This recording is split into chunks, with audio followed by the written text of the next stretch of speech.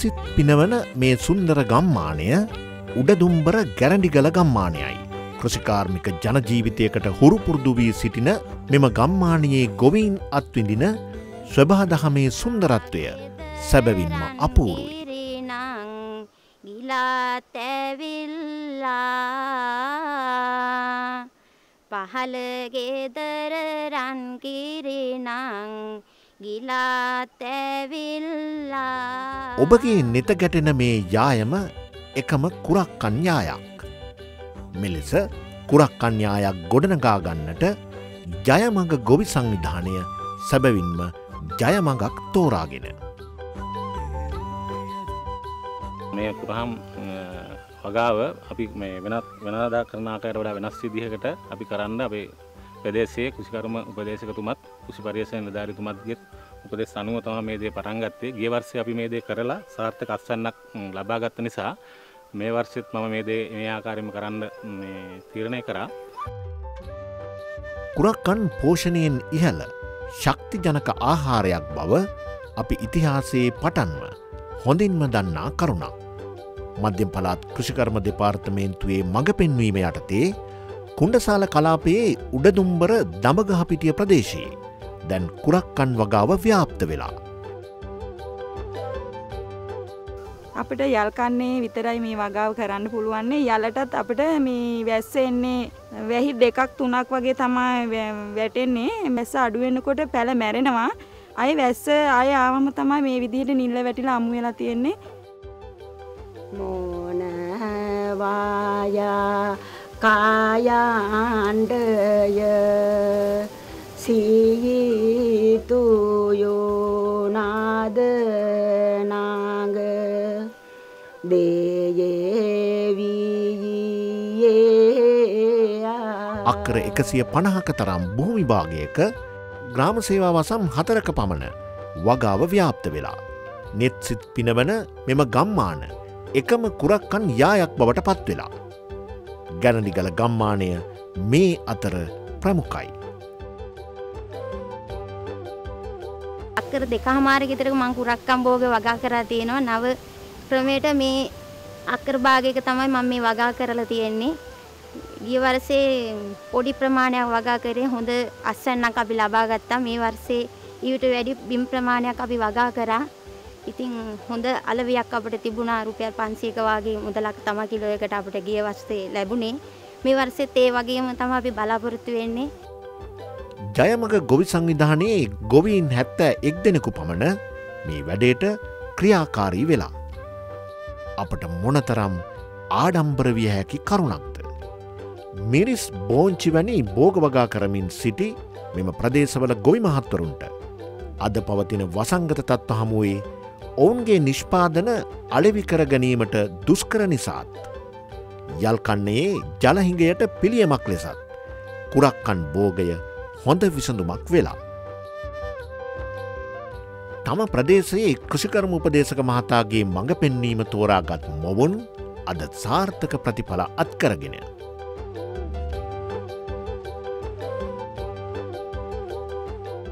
යල්කන්නේ ජලහිගයට විකල්පයක් ලෙස වගා කරන මෙම බෝගයෙන් ලබාගන්නා අස්වන්න හොඳ ආදායමක් ලබාගැනීමටද උපකාරී වන බව ගොවීන්ගේ අදහසයි. මෙහි නිෂ්පාදන වියදමත් අඩුයි. පැරසුක් තැටිවල තම මේ කුරහම් බීජය සිටවන්නේ එහිදී මේ කුරහම් තැටි බිම සකසාගෙන එලා බීබුසලකට කුරහන් තැටි එකසිය විස්සක වගේ ප්‍රමාණයක් අවශ්‍ය වෙනවා ඒ ප්‍රමාණය තුළ මඩ අතුරලා කුරහම් බීජය එහි යොද්දා දාම්මෙන් පස්සේ මාසක විතර කාලයක් ගත වුණාම කුරහන් පැල මතු වෙනවා අනතුරුව ඒ තැටි එකින් එක අරගෙන අපිට මේ බිමේ අපේ වගා බිමේ මඩ කරලා වගා බිම අපි සකස ගන්න ඕනි. මඩ වෙන ආකාරයට මඩ කරලා තැනිතලා බිමක් විදිහට සකස ගන්න ඕනි.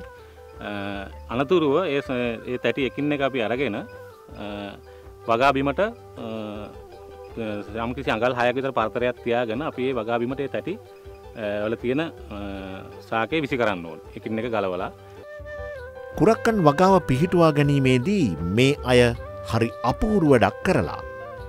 තවාන්තට යොදාගෙන පැරශුට් ක්‍රමයට කුරක්කන් සිටුවීම සිදු කරලා. වැඩේ සාර්ථකයි.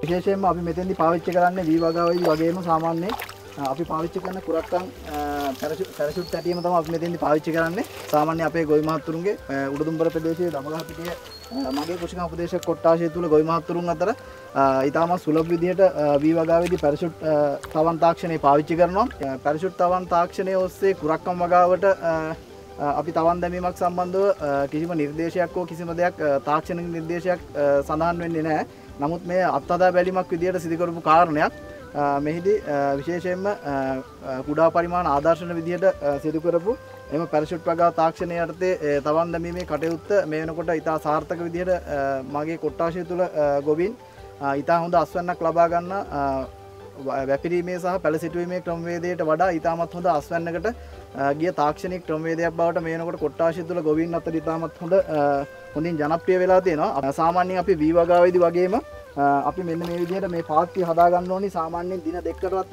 කලින් මේ පාත්තිය හදාගන්න ඕන නම් ගොඩක් හොඳයි. මොකද නැත්තම් පැරෂුට් තැටි වලට අපි මඩ දැම්මට පස්සේ මේ තැටි ගිලා බැසීමක් වගේ සිද්ධ වෙනවා. එතකොට එක මට්ටමකට අපිට මේක තියාගන්න බැරි වෙනවා. ඊට වඩා ගොඩක් සාර්ථක වෙනවා මේ විදිහට දින දෙකකට විතර කලින් මැටි ටික පදන් වෙන්නත් එක්ක පාත්ති ටික දින දෙකට වගේ කලින් හදාගත්තම ඊට පස්සේ අපි කරන්නේ සාමාන්‍යයෙන් දෙපැත්තෙම ටිකක් වැඩිපුර ඉඩ තියලා මේ විදියට තැටි ටික එලා ගන්න වැඩි තමයි කරන්නේ. ඒදී විශේෂයෙන්ම තැටි එකින් එක කුරහම් බීජ තමයි අපි මේකෙදී දාන්නේ. ඒ නිසා විශේෂයෙන්ම අපේ ගොවි මහතුරු සැලකිලිමත් වෙන්න ඕනි තැටි ටික.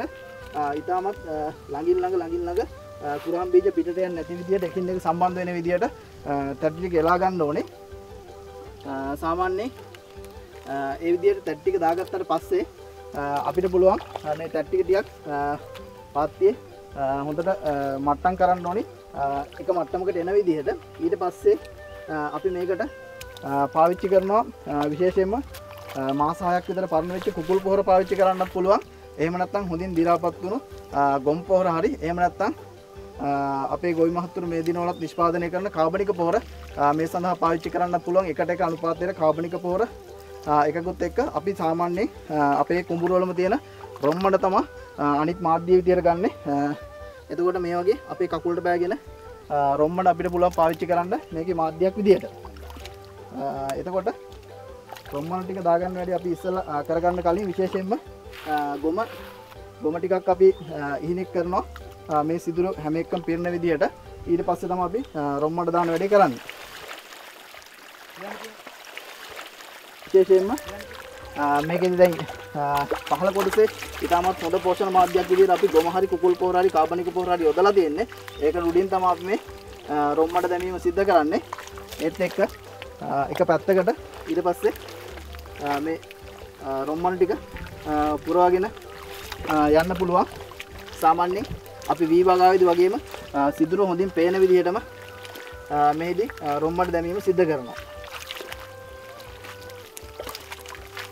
අනතුර තම අපි බීජ දැමීම සිද්ධ කරන්නේ විශේෂයෙන්ම බීජ දැමීමේදී මේ ප්‍රදේශයේ අපේ ගොවි මහත්තුරුන්ගේ අත්දැකිමුත් එක්ක අපි හොයාගත්ත දෙයක් තමයි විශේෂයෙන් රවි රාවණා ඖෂධ කිරිකුරහන් කළුගල කුරහන් ඒ වගේ විවිධ ප්‍රභේද ගොවි මහත්තුරු පාවිච්චි කරනවා විශේෂයෙන් කුරහන් ප්‍රභේද ඒවත් එක්ක අපි පසුගිය වර්ෂයේම කරපු අස්වන සමීක්ෂණ වල ප්‍රතිඵලත් එක්ක ආදර්ශන වල ලැබුණ ප්‍රතිඵලත් එක්ක විශේෂයෙන් අපගේ කුෂිකන් දෙපාර්තමේන්තුවේ ඖෂධ කියන ප්‍රභේදය තමයි මේ ප්‍රදේශයට ඉතාමත් හොඳම අස්වැන්නක් ලබා දෙන ප්‍රභේදය බවට පත් උනේ.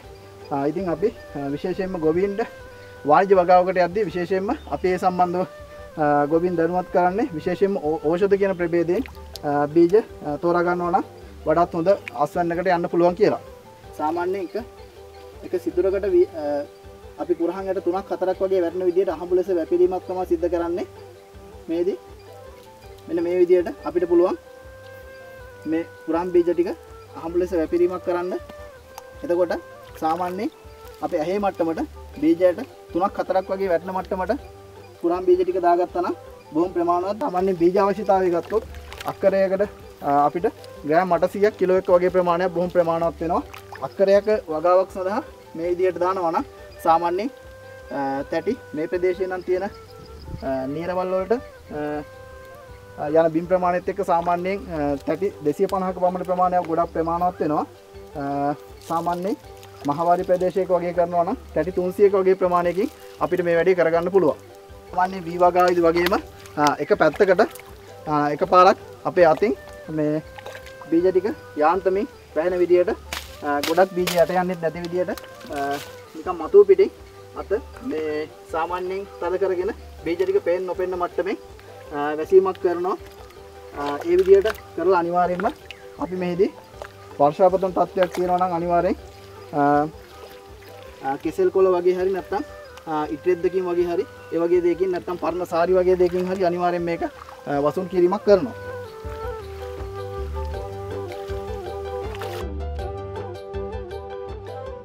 කුරක්කන් වැපරීමත් පැලසිටුවීමත් යන ක්‍රමවලට වඩා පැරශුට් ක්‍රමයේදී වැඩි අස්වන්නක් ලබාගත හැකි බව ඔවුන්ගේ අදහස වුණා.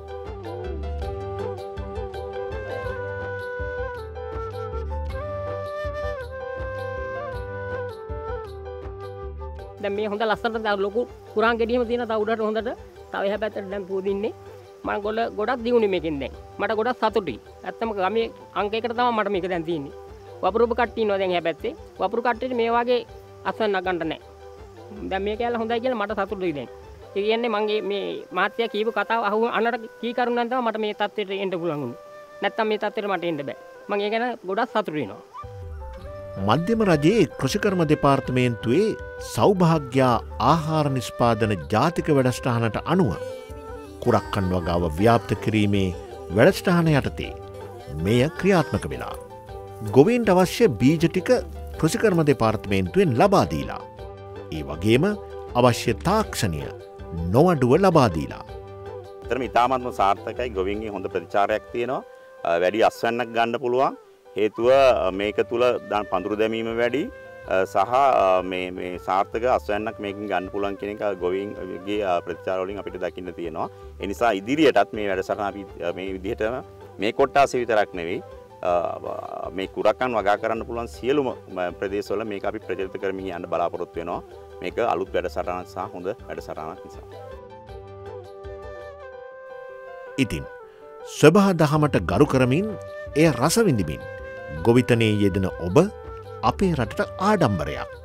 කුරක්කන් කරල් කපන ඔබ නෙලන අස්වන්න ඔබ සඳහාම නොවෙයි. ලාංකික අපිත් සියලු දෙනා වෙනුවෙන්මයි. ඔබ යන ඉදිරි ගමන ජයවේවා.